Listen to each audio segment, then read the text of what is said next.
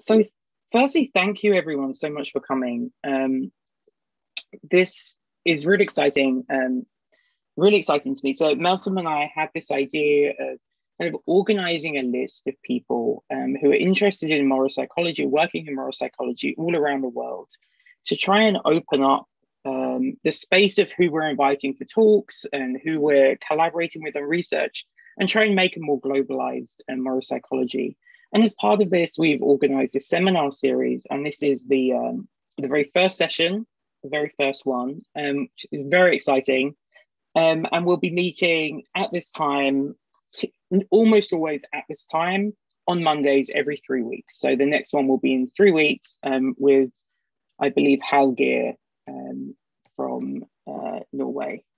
Um, great. So, but today we've got um, JF, or officially um, Jean-François, um, but I am English and very bad at French. so he says I can call him JF, which is very helpful, so I don't embarrass myself too much. Um, so JF is a research director at the Toulouse School of Economics in France. He's the president of the European Commission Expert Group on the Ethics of Driverless Mobility and the head of the AI and Society program at the Toulouse uh, Digital Center. He's published on a number of high impact topics, and his work has appeared in more than 100 publications, including um, Nature, Science, and PNAS.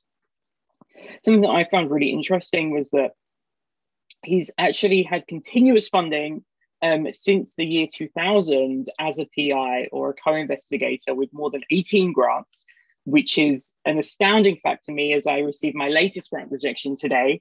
Um, and his funding institutions have been, uh, included the European Union and lots of French institutions that, again, out of respect for the French people, I'm not going to try and pronounce. Um, he's most well known for his moral machine paper, and an amazing statistic to me is that around one in 500 internet users have completed this. And this Moral Machine um, website project was an internet sensation. Um, the YouTubers um, commenting on it and many papers, uh, many articles in the press. So he really um, kind of brought these questions of moral psychology to um, the broader public. And I'm really thrilled to have him here kicking us off. So with that, I'm going to pass over to JF and um, thank you. Oh, sorry, sorry. One quick housekeeping thing. Um, if you want to put your questions in the Q and A at the bottom, um, and then you should be able to upvote questions that you're really interested in hearing from other people. And then what we'll do is when we get to the end, we'll do the Q and A, kind of working down from the most popular questions, basically. So if you have questions, put in the Q and A at the bottom. Okay, and with that, um, over to you, JF. Thank you. Thanks, Jim, and thanks everyone for being there, for being here. It's very exciting to launch this series. Okay, I'm going to share that screen, uh, and there are two things that I'd like to say before I start. So, first, uh, the topic is grim. I'm going to talk about issues of life and death, not in relation to abstract trolley problems, say, but in relation to, well, real life policies that could affect many of us in pandemic times. So I'm going to try to be sensitive about this, but I just want to apologize in advance if at any point during the talk someone feels uncomfortable or upset about what I'm saying. Second thing is more uh, of a request.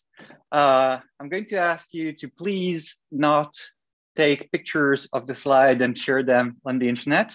It's just that I prefer people to hear the explanation that comes with the slide instead of just seeing the slide in isolation on Twitter. And I'm sure you can understand that I probably have been burned by this before. okay, so that being out of the way, uh, let's start. So I'm going to talk about policies that impact who lives and who dies. So the key word here is policies. I'm not interested so much in uh, individual decisions made by a specific person uh, in specific circumstances. I'm more interested in how, as a society, we set up guidelines for the people who are going to make the decisions. the people or the machines actually because my first example uh, at the bottom left of the screen is self-driving cars so in the uh, example here that you see the self-driving car is about to crash in a family of pedestrians who are crossing the street and the only way to save these pedestrians would be for the car to swerve and hit the obstacle but by doing so, it would endanger the lives of its passengers, who happen to be a pregnant woman and her little boy. So the question is, you know, how should self-driving cars behave in situations like that when they cannot save everyone? My second example will be much closer to us uh, right now. Uh, second example will be vaccines. So as long as we don't have enough vaccines to give to everyone, we have to have policies about who gets the vaccine first. And many, many countries uh, have been, well, experimenting with these policies uh, during these past few weeks or months. Uh, my third example will be ventilators, because one of the big scares of 20, 2020 was that we would not have enough ventilators for the COVID 19 patients that needed them. Because the people who develop the worst, most severe form of COVID 19 cannot uh, breathe by themselves they need to be sedated, paralyzed, and hooked to a machine that makes them breathe artificially. So that machine is the ventilator. And during the spring of 2020, I think all the countries in the world started worrying that they would not have enough ventilators for all the COVID 19 patients who would need them. And so that the doctors would have to make very, very hard decisions about which patients would get the ventilator and which patient will be, well, uh, eased into dying. So in order to avoid that situation, most countries went to extreme uh, measures, like ramping up the, the, the, production of ventilators, but also uh, adopting severe lockdown procedures to stop the pandemic, really because the big scare was how to make these decisions. But uh, in preparing for this uh, uh, eventuality, all the countries scrambled up to develop policies that would help the doctors make the decision if it had to come uh, to that. So I'm going to discuss this. But uh, my purpose is not really to discuss the content of the policies that have been adopted by, say, Italy or the Netherlands. What I do with my team and my co-authors is to uh, gauge the support for different kind of priorities, different kind of policies in these three examples. Because one thing that these uh, three examples have in common is that they're very well known. I'm pretty sure that most of you have heard of the three examples already. And that's because there's been a lot of discussion in the media about these three examples. These policies have been elaborated under high public scrutiny. The people are watching what the policymakers are doing. And because the people are watching, they form opinions about what should be done. And what we do is that we collect, we run experiments to collect data to extract what we think are the preferences in the population about uh, what the policies should prioritize. So we typically do that in multiple countries. Uh, the order of magnitude would be that we collect data in somewhere between 10 and 100 countries. Now, why do we do this? So first, first the obvious, I guess, obvious interest that we provide this resource, which is large scale data for morality researchers to help them, uh, well, test or develop the theories. Uh, we have these massive data sets about realistic problems, realistic moral dilemmas that we collect in many places in the world that will allow you to both assess what the preferences of people are and the cross-cultural uh, variation in these preferences. So there is this interest in producing these resources, but we also think that we can help policymakers make uh, their decisions. So this is very tricky because this is where we get the most criticism. So I want to dissipate very quickly two misconceptions about this kind of work. First, we never make any normative assumption we never assume that what the majority wants in our data is the correct moral perspective, is the correct moral action. And we never make any prescriptive assumption. That is, we never assume that policymakers should simply do what the majority wants in our data sets. So it's, ne- it's never normative, never descriptive. That being said, there is a role for this data in policymaking. So to identify this role, we just have to think first. What happens when the policies and the preferences of the citizens are misaligned? Well, the response is that when you have this misalignment between the policies and the preferences of the public, you get loss of trust. People lose trust in the system. And this loss of trust has downstream consequences which are negative. For example, uh, in pandemic times, you're usually asking a lot of your citizens. You're asking to comply to a lot of non pharmaceutical interventions and social distancing and so on. So, so if your citizens lose trust in what you're doing, they might actually comply less, which is a very bad thing. And, and second, there's the opting out problem that is mostly a problem for something like self-driving cars, which is that if your citizen think that the risk distribution policies of your self-driving cars are unfair, they lose trust in self-driving cars, they opt out of using them, which means that they opt out of using a technology that is objectively safer. Well, or will be at some point. Okay, so there is a cost to pay when the policies and the preferences are misaligned. Does that mean that you have to do what the people want? No, again, it's we don't claim there is a prescriptive value to this data. The point is not for the policymakers to blindly follow the preferences of citizens. The policymakers have to do what they think is best. But if they know about the preferences of the population and they know they're going to do something that is very unpopular, then they know where to concentrate the explanations know, they know what needs the most pedagogy. So you have to be aware when you're policymakers about this potential misalignment to concentrate your explanation wherever needed.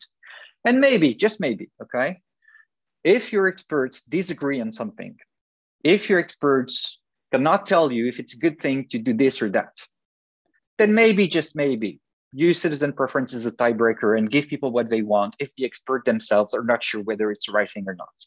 Okay. Right, so this is what we do with this data.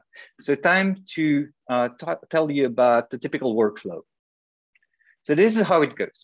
We first identify a policy issues. Here, self-driving cars. Okay, how do we program self-driving cars to distribute risks or actually distribute crashes uh, over road users? Policy, you know, policy problem identified. Now we list the metrics, the possible metrics that you can use to make this decision. So for example, in the self-driving car examples, do we want the policy to take into account the age of the potential victims? Like, do we want the car to detect kids and give them priority in terms of safety? Uh, do we want to the cars to take into account the fact that some of the victims are pedestrians and some of the potential victims are car passengers? and so on. So you come with this list of metrics. When we have the metrics, we deploy the experiments, which are usually choice experiments, where uh, we give people pairs of outcomes and they decide which one is, well, the least worse. And from a big data set of choices like that, we extract their preferences. So for the self-driving car examples, we deployed what uh, Jim mentioned earlier, which is the Moral Machine website, which was quite a hit. And so, thanks to the popularity of the Moral Machine website, we got decent samples in more than 100 countries. I think right now, nowadays, we have probably 8 million users or something like that uh, that completed the full survey. Okay, so that was for self-driving cars. Now, second example, vaccines, same thing. We identify the policy issues, who should get the vaccine first we come with a list of metrics. Should the policy take into account the age of the recipient? Should the policy take into account the income of the recipient? Like, do we want to prioritize the poor? Once we have the metrics, we deploy. And for the vaccine study, we collected data in only uh, 13 countries, but we obtained nationally representative samples in these 13 countries. And no, you know the drill. Last example, ventilators, we come with the metrics. Should the policy take into account the age of the patient? Should the policy take into account the expected quality of life of the patient after uh, surviving the process. So here for the ventilator survey, we had four nationally representative samples and 20 uh, additional self-selected samples from, uh, well, 20 countries. Now, as you can imagine, there's absolutely no way I can tell you about every result, every finding of every metric for every example in every country uh, during the time I've got now. So I'm not even going to try to uh, give you a full perspective on this mountain of data. I'm just going to give you three highlights, three things that struck me after spending a long time trekking across this mountain of data. Three things that have stayed with me so far. And actually, the third one is a bit of a mystery that maybe I will get your help about. Okay, first highlight what I call the qualitative universals. There is a very striking phenomenon. So in all these studies, it seems that the structure of the data is that we find something that is true everywhere in all the countries. So sure, there is uh, quantitative variations in the results, but there is a qualitative structure that is universal. So for example, for the crashes, the directional preferences are universal, all of them. So for example, the preference for saving humans versus non-humans, the preference for saving more lives versus fewer lives, the preference for saving younger lives rather than older lives, down to the weaker, the weakest preferences, for example, the preference for saving women versus men, or saving pedestrians versus car passengers, all these preferences are directionally the same in every country. This is very striking, right?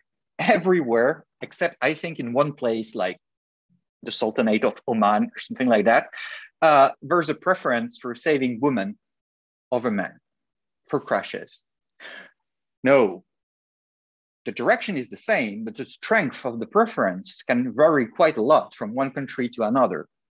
Okay, so for example, uh, here we could identify three big clusters of countries with different profiles of preferences, but the direction, remember, is always the same. It's just the strength that varies.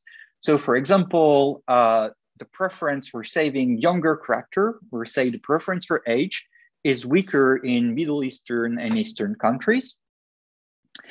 And the preference for saving high income versus low income uh, victims is stronger in the South in South America and mostly in countries with a lot of inequality and weaker in rich countries. So there's a lot going on in terms of how the preferences can vary from one country to another, but directionally they're always the same. Similar thing happens with vaccines. So for example, uh, the priority for healthcare workers, non-remote workers, vaccinate the vulnerable, the old, and the poor. That's something we find in every country that we tested directionally. Because then the strength, the relative strength of these preferences, of course, is going to vary. And for example, we find again, actually, and this is quite striking, that we find that the preference for age is weaker in China and the uh, preference for income, the, the royal income is weaker in rich countries, which is exactly what we found for crashes, right? That the age variable was not as important in the East and the income variable was not as important in rich countries. For the ventilator, things are not as straightforward, and I don't think I can do them justice. So I'm just going to allude to this, and I can go back to it in the Q&A. The universal for the ventilators is actually the polarized nature of the responses that we find in every country. So what happens is that in every country that we tested, you have these two, two big groups of people that together account for the majority of the population. And one big group of people is completely opposed to any kind of policy. They just want the ventilators to be allocated on a first come, first served basis. And, you know, when there are not enough ventilators because they're being given to everyone, well, tough luck something like that. That's one big group of people. And then you have the other big group of people, and these people are open to the most thorough, complete form of triage you can imagine. They're okay with using any kind of individual information about the patient in a very complicated uh, series of decision to allocate a ventilator to somewhere or not. So you got this big polarization between the no triager and the full triager that we find in every country. So that was my first highlight. Usually we always, well, well, it's not usually, we always find some kind of universal qualitative structure in the data that is then, you know, uh, complicated by some quantitative variation across cultures. No, uh, moving on to my highlights number two and three, I need first to tell you a little more about the metrics. Actually, very little. But I just want to emphasize that uh, sometimes some metrics are only used in one context. So for example, income was only used for the vaccine study, not for the other studies. Quality of life was only used for the ventilator study. Why? Because it's only ever been discussed in the context of ventilators. It doesn't, I mean, you couldn't perhaps make a point that it makes sense in the other uh, context, but it's never been discussed. So why you know include it in the surveys okay? Some metrics like prognosis can be used you know into context but there are two metrics that are featured in all three examples and these are my next two highlights. So these two metrics that we've included in all surveys are age should the policy take into account the age of people when making the allocation decision and something which i'm very carefully calling social value with big scare quotes because yeah, you're gonna see this is complicated triggering issue. So first, age.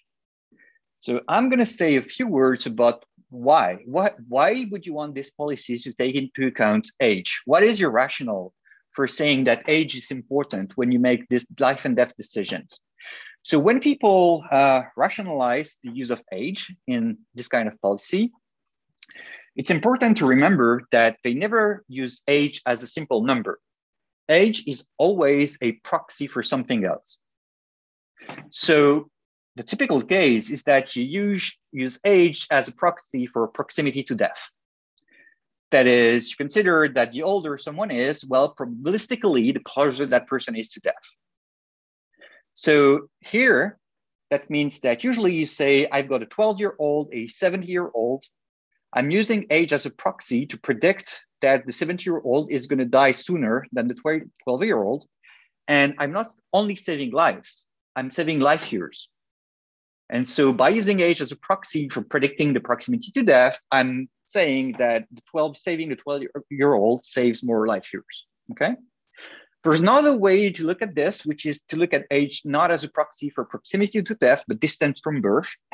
And when you do this, the people who would do this usually mean that um, age is a proxy for the opportunity to experience life milestones.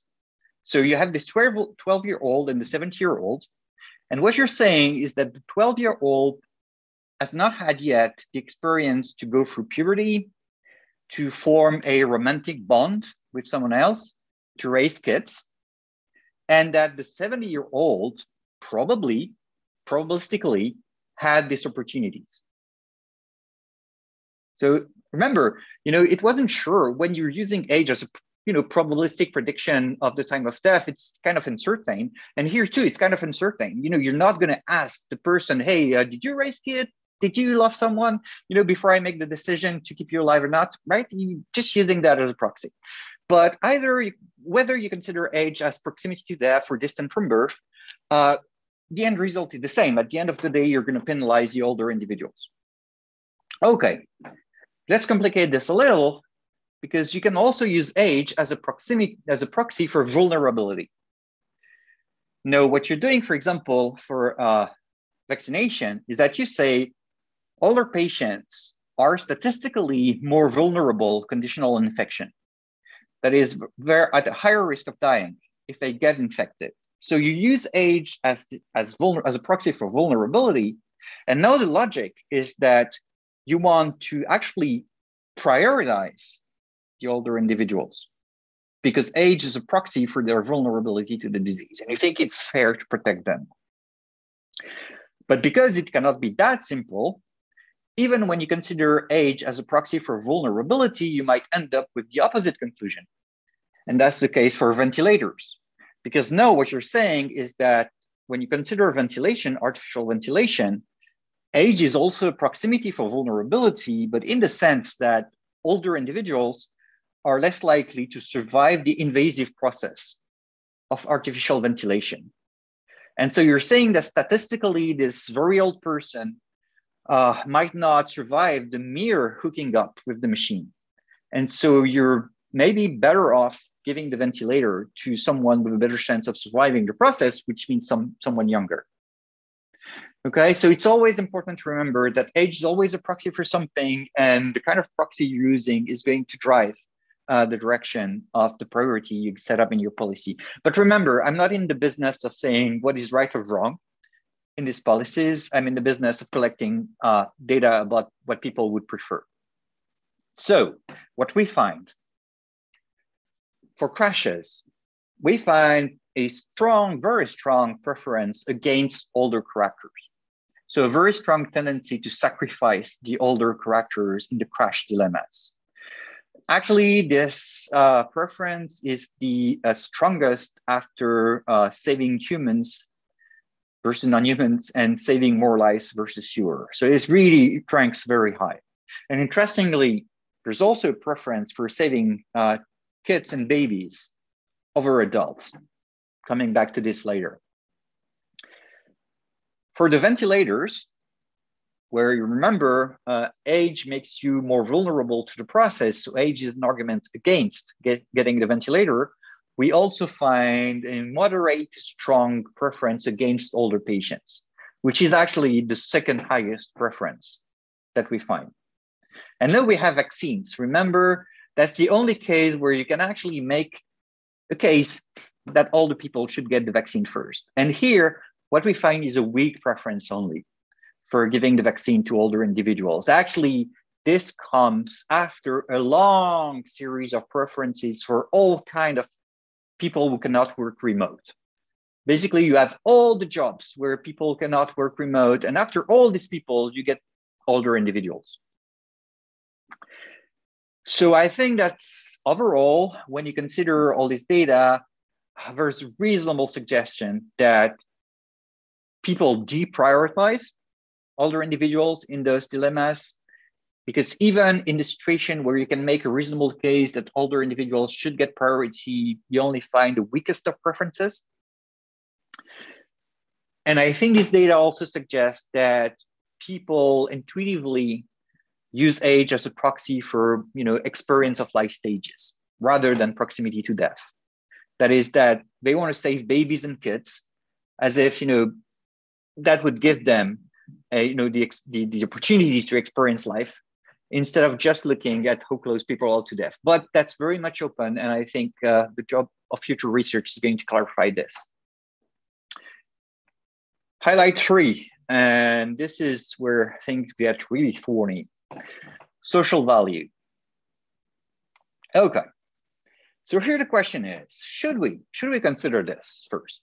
You know, should policies, life and death policies consider what someone's contribution to society is when deciding whether that person must live or die? And remember, I'm pretty much agnostic, really. Well, I'm personally not agnostic, but I'm as a scientist, as a psychologist, I am. But so my question as a psychologist is more like, do people have preferences in that direction? Do do they think we should use uh, social value or contribution to society as a metric to decide who lives or who dies? When we started working on crashes, we thought that the response, well, the responses were pretty obvious. We thought that the responses were no and yes. No, policies should not consider contribution to society, but yes, people being people, probably if we're gonna uh, use this metric in their decisions. And that's the reason why we introduce homeless characters in the moral machine experiment. So, you know, examples like this one, you know, the car is going to crash into this homeless person, but it could save the homeless person by crashing into the obstacle and killing its passenger.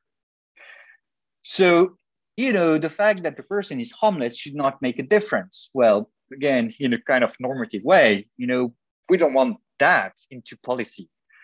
But when you look at what people say in these scenarios, you find something a bit different. What we find, what we found that is that choices, the choices that people make in the moral machine reveal a clear penalty for the homeless characters.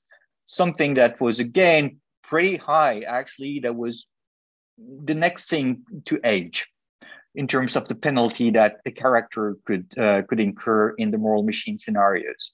So people had a tendency to kill the homeless quite a lot in the experiment. But when we asked them, you know, do you think this should be included in the policy? Their explicit preference was against it. They preferred this to be not considered at all. So, so far, so good, right? We sort of agree that we should not consider uh, someone's contribution to society or social value when making these choices that people, okay, have implicit biases, but then their explicit preference neutralized these implicit biases. So end of story, right? But then came the pandemic. So remember, I told you that uh, spring 2020, uh, every country is scrambling up because everyone is afraid that we're not going to have enough ventilators. So you got all these policies about ventilator allocation uh, being developed at the same time in all those different countries. Okay, so many of these um, policies, many of these guidelines start with some kind of lofty statement that they will never consider things like, and then you have a long list of things like race and sexual preferences and contribution to society and so on, that these things would never be considered. Okay, so they state that they will never consider one's contribution to society when making the decision to allocate a ventilator. And then you read the following. And very often you find that they sort of make one exception. Can you guess? Can you guess which category of people uh, have some contribution to society that is maybe worth giving them the ventilator in priority? Well, healthcare workers. And here uh, you find two sorts of justifications. Either the policy say something like, well, you know, these were frontline soldiers. These people took high personal risk in taking care of other people. And so if they develop a severe form and they need a ventilator to survive, we should give them the ventilator because of their past contribution. Or you have the slightly coldest version, the instrumental utilitarian version, which is look, uh, we're in for the long run. We're going to need a lot of social of healthcare workers for this pandemic. So if if we got enough a healthcare worker needing a ventilator to, to survive, we give them the ventilator so that they survive and they can later be back to work and fight the pandemic. So again, no, we give them the ventilators either as a reward for their past contribution to society or as a way to preserve their future contribution to society. But if you find yourself convinced by either of both these justifications, you have to, you know, to realize that no, you're making an exception. You're saying that actually it's okay sometimes to look at what someone can contribute to society when making the decision to give that person a rare resource that will make a difference, a life and death difference. And where do you stop?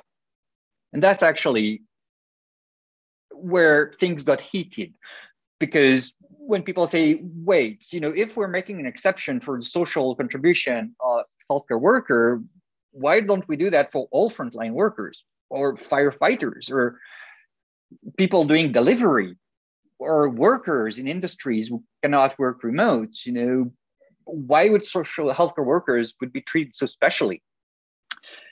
So what did we find? Because remember, uh, we have social value in the moral machine. I told you about that, but we tested whether people would uh, give priority to healthcare workers in the vaccine and in the ventilator case.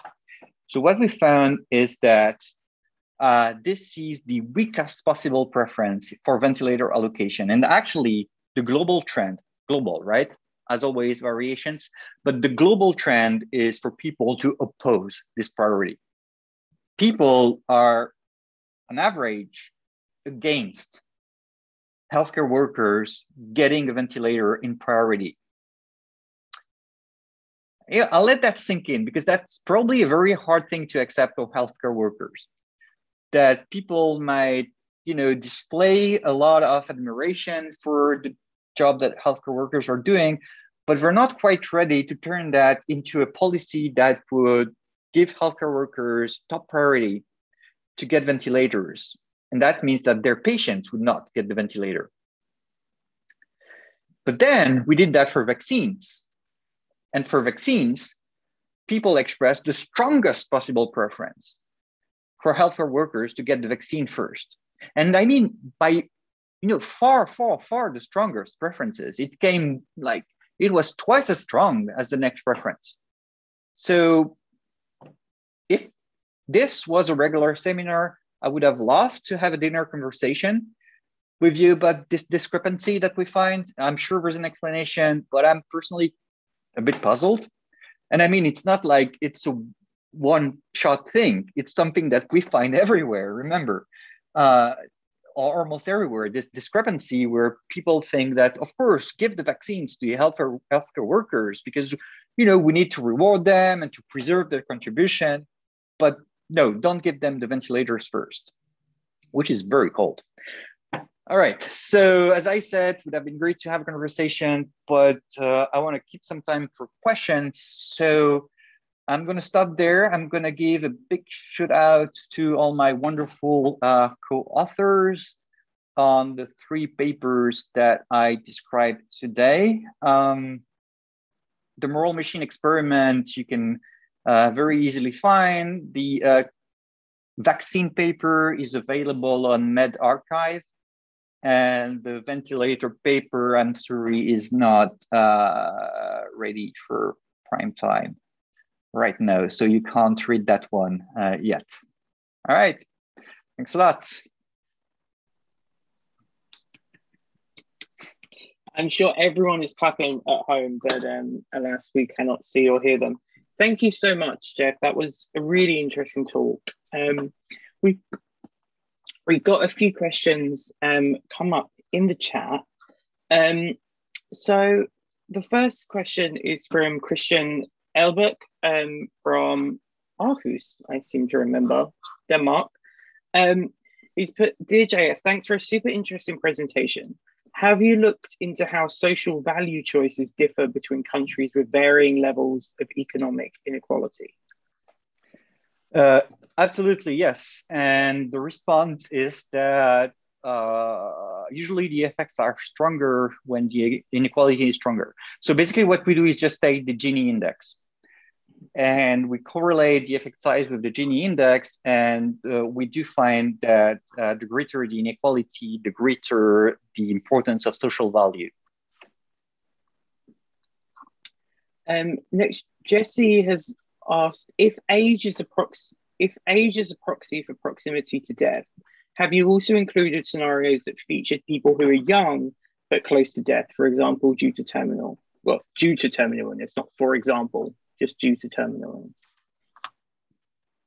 No, we've not, and uh, and I would be super interested in uh, in seeing this kind of data. Um, just a note to everyone: if you could put questions in the Q and A rather than the chat, that would be um, just uh, easier to monitor in one place. Um, uh, okay, next question. Jesse Jesse Sun again has asked, um, in the homeless scenario, I wonder whether people's choices are being driven by contribution to society um, or whether it's those preferences reflecting social integration. So, a preference for saving those who'd have more friends or family members that would suffer as a result of that person's death, whereas a homeless person is seen more as a in an island. Yeah, I think that's the fair interpretation, and uh, I don't know. I don't have any quantitative data to back this up, but from a qualitative perspective, okay, if you watch people on YouTube during doing the moral machine, and I think there are like thousands of videos like that, but it's true that I hear that I've watched some of these videos and I kind of hear that people saying this about homeless crackers. So no evidence, but yeah, anecdotal indication that this is at play for at least some people. Yes, absolutely. Um, next, we've got, I guess this is a question from Killian, but I will say, Killian, this looks more like a comment than a question. Um, if they have the vaccine, they can continue working, but if they're on a ventilator, they're not working and also taking up valuable ventilator space. I guess that's sort of a suggestion for um, this discrepancy between the vaccine, vaccine and ventilators. Yeah, true. Although and it's true that this is part of the debate was that uh, if you get ventilated for three weeks, for example, you're not going to be back to work. Uh, you're going to spend six months, uh, you know, uh, getting back in shape and being back to work. So the instrumental value is not that clear. But you have to remember still that uh, here we, I mean, not being put on a ventilator, not to be to you know not to beat around the bush means that you're going to die. Uh, so so we're saying that these people are left to die. I mean, not left to die; they eased up into dying. But uh, so it seems like a very very uh, well surprising choice to say that they should not get the ventilator. Um, Amanda Austin has said, could age not also be included in the concept of social value? So younger people may be perceived as being more able to contribute to society in the future. Uh, I, I, am not, I'm never sure if the questions are like from the point of view of the policymaker, like would it make sense to do things that way, or from a psychological perspective, do people perceive it that way? Uh, do people perceive it that way? I don't know. Uh, from a policymaking perspective, you're not supposed to do this. Uh, this is more like an actuarial uh, thing where if you lose a family member and the insurance is compensating you, they will sort of try to assess what would have been the uh, earnings of that person in the future and try to compensate you for future earnings. But in policymaking, you typically not allowed to consider this. And for us, for a psychological thing, well, I don't know. Probably that's also, may I say, uh, also a problem with this, that we're using these metrics because apart from the crashes where we had to work from scratch, but for the ventilators or the vaccine, what we're doing is that we read all the policies that have been developed in various countries and we extract the metrics from these mm-hmm. policies. And I agree that sometimes ew, these things overlap, you know, like prognosis and quality of life and comorbidities all these things are intercorrelated and so it might feel a bit artificial to separate them in the surveys because no they're not cleanly separated but the thing is is that's how they're used in the actual policies. Great thank you. Um, robert bohm um, from copenhagen now i think has said maybe health workers are treated differently when it comes to prevention but not when it comes to intervention. So one could argue that by prioritizing in, in preventative measures, there further benefits to society. Um, and he's suggesting that maybe that could contribute to this uh, difference you find between vaccines and ventilators. Yeah, no, yeah, I think I think there's definitely something about preserving their instrumental value, and that this is very clear for vaccines and clear for ventilators. And that if I have to venture a guess, I think this is what is on people's mind, and they're much less sensitive to the idea of rewarding uh, the healthcare worker for the risk they took in the past. Yeah. And um, next, we've got uh, Vilius from Lithuania. Um, he's asking Is there any speculation on how widely this phenomenon of the qualitative universality of moral preferences be generalized? So, um, are there any counterexamples to um, this seeming universality? Oh, they must be, right? But the thing is, when you start seeing this pattern of qualitative universal quantitative variation, you start seeing it in many places. And some things, it's almost some trivial, like in a dictator game or an economic game like that. I mean, universally, people think it's good to share. I mean, it's better to share than to hoard. No, the strength of the preference for sharing or hoarding might differ in different societies. You might get away with less sharing in some places, but directionally, I'm not sure there's a single society where people are think that sharing is bad. And uh, for example, the role of intention in moral blame, the fact that you blame more if you do something intentionally rather than non-intentionally. Uh, of course, there's a lot of variation, and we know there's a lot of variation documented. And in extreme cases, people are speaking about some small scale societies where perhaps the effect does not exist. Okay.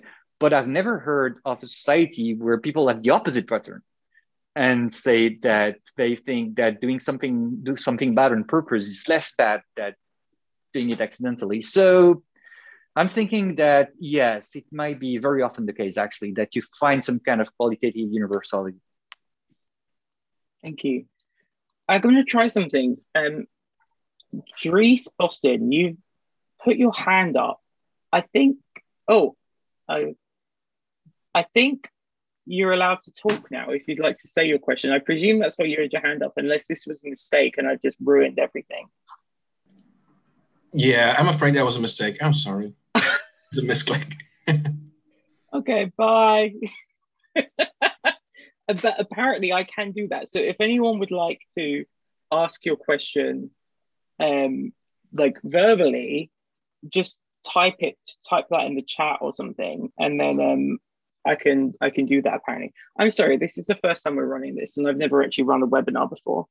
Um, okay, great. So the next question, um, ah, interesting question from John Mills, um, who's asking if you could go into a little more detail about the recruitment process for the moral machine study. Um, how did you go about that? Um, and also, actually, I'd be interested for the ventilator. I think it was the ventilator study that you also did the uh, the non-representative as well. Yeah. So, yeah. Okay. So the moral machine, uh, I don't think it can be easily reproduced, but uh, basically we, we we had a problem of scale that we had so many scenarios that there was absolutely no way we could hire enough people, even on MTurk and something like that, to to to actually uh, take the survey, and so we tried for virality and so it's a very long story. It's a different talk actually when I describe all the strategy, all the little choices that we made uh, to make the website viral and how weird it is to design the product as a scientist. Like you have this kind of startup feeling, having consultant, you know, look at your logo, look at your social media strategy and your media strategy. So many, many, many decisions were made to increase the chance that we would go viral, and uh, it worked. But uh, luck played a big role. And I must say, the biggest factor uh, that uh, just drew people to the website was actually YouTube. And that's something that we did not anticipate that people like PewDiePie or those people with 40 million followers would do videos on the moral machine and then that would snowball into this. So we did everything we could to make the, sur- the survey viral and it worked.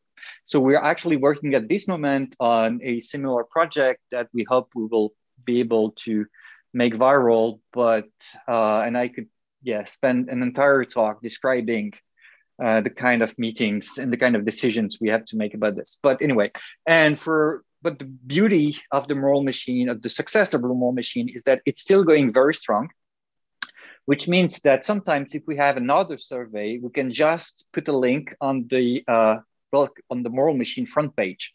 And because we have thousands of people visiting the Moral Machine every day, even if 1% of them uh, take the survey that we advertise, we can still get, you know, 40,000, 50,000 uh, participants per survey. We try not to do it too much, but yeah. Wonderful, thank you. Um, okay, we've got next question from Hallgeir, who is our speaker, I think, for in three weeks' time, who's asking, do you think that the expected contribution to society for prioritizing healthcare workers is perceived as larger for vaccines um, because it keeps them safe in the first place than for ventilators that are mostly about treating people who are already sick, already sick? So it's kind of more preventative.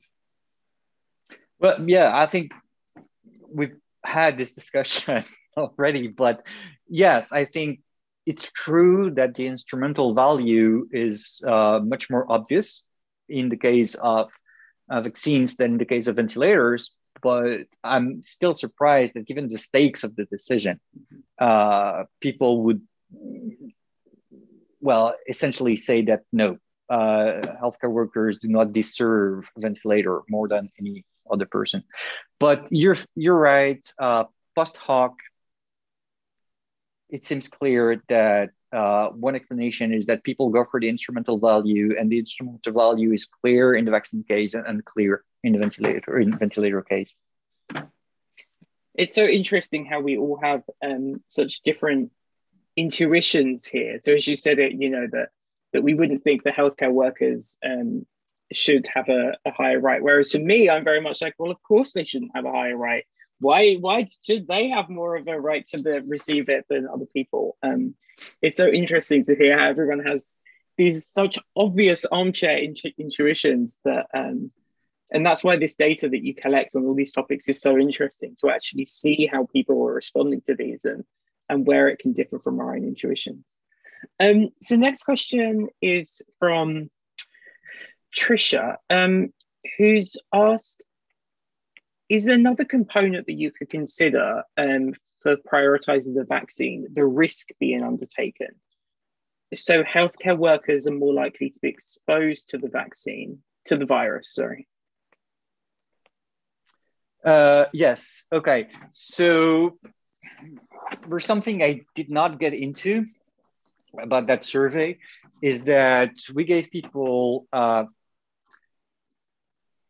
the direct information about risk of uh, catching and transmitting and risk of dying if infected, as well as the proxy. So, for example, we would manipulate, you know, what it, well, when you tell people this person has five times the risk of being infected, they react very strongly to that.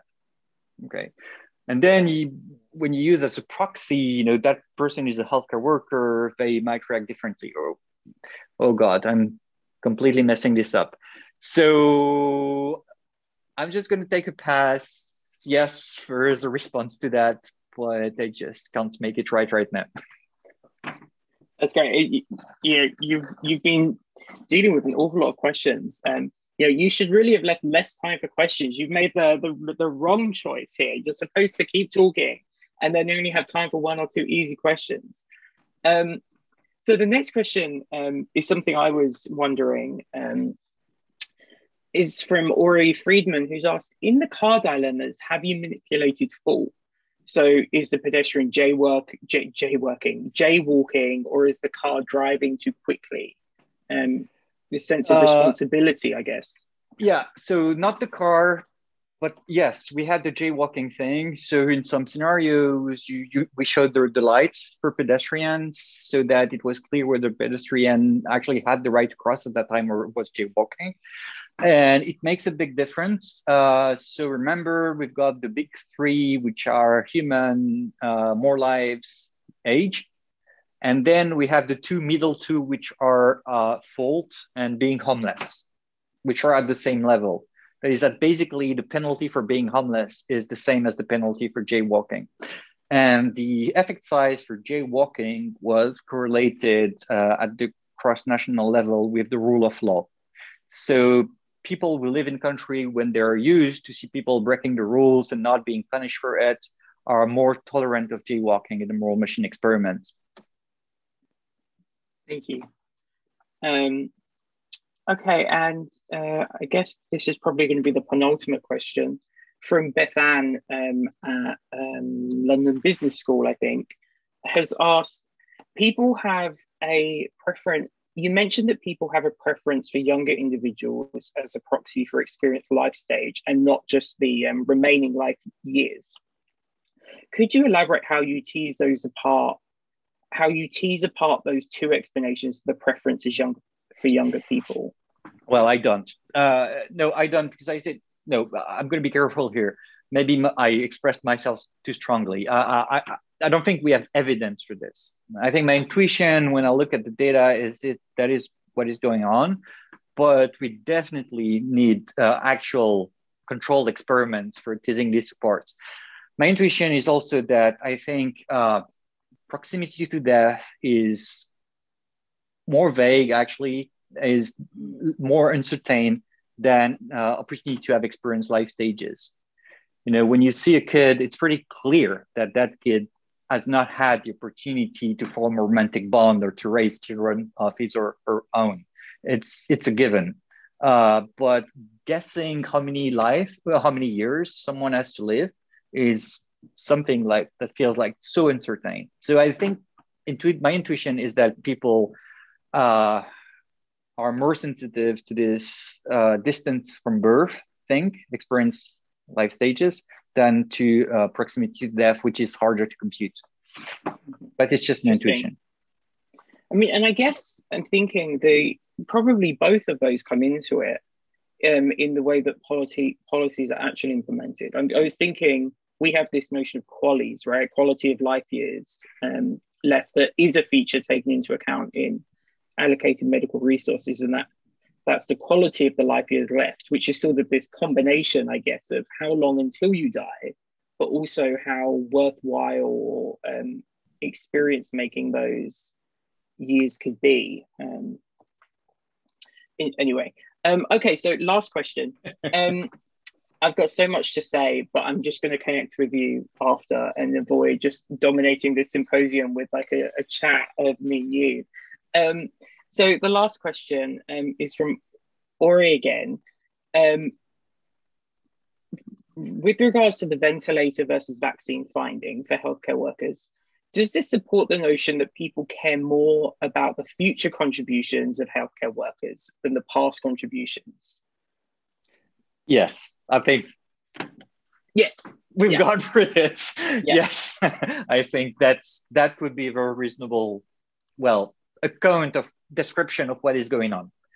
I'm not sure it's okay. an explanation, but it's at least a good description of what is going on. Okay, so with that, I'm actually because that was so quick, I am going to check just one more question, which of is course. a bit different. And this is the last one, um, and this is from uh, Tripat Gill, who's asked from, and you did talk about this a little bit at the start, but I'd love to hear some more. Um, from a policymaker's perspective, should these findings be used to justify the policy to the public, or should they not use the studies to as a justification and just use them internally? So I guess this question is not about whether policymakers should decide what to do based on your studies, but that given that they've decided to do a certain thing, how do you feel about them using the results of such work in communicating their policies? Well, I think they just cannot uh, use the study to justify uh, the policies. And I say that as someone who spent 18 months in Brussels, uh, you know, helping to elaborate policies for self-driving cars, there's simply no way you can use this data to justify the decision you make. Your decisions must be argued in terms of ethical principles and legal principles. Uh, of course, it might happen that some of your policies also aligned to what people wanted, and so that what people wanted might have had a role into the shaping of the policies. But I think you simply cannot use public survey opinion uh, to justify policies. I think the role is really about discussing with the experts what you want and what you need to do, and then knowing what's going to be very easy to, well, sell to your population, and what's going to be very hard, and and and that's where you need to concentrate the explanations. Mm-hmm. That makes sense. I guess the problem is if you sort of use these studies, even if that's not the reason you for the making the decision, but you use them as part of the explanation, there's a problem that if the data changes, then particip- then people might expect the policy to change, um, which is not necessarily what we want. Um, okay, well, it's now one minute to the hour, whatever hour it is for you. Um, thank you so much, JF, for um, coming. This was so interesting. Lots to think about.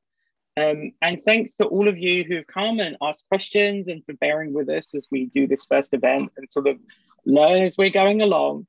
Um, and we'll be doing this again in three weeks at the same time on Monday, um, where we'll be hearing from Hallgeir. Um, uh, so please do join, register, um, and uh, thanks everyone for coming and have a lovely day, morning, afternoon, life. Thank you. Bye.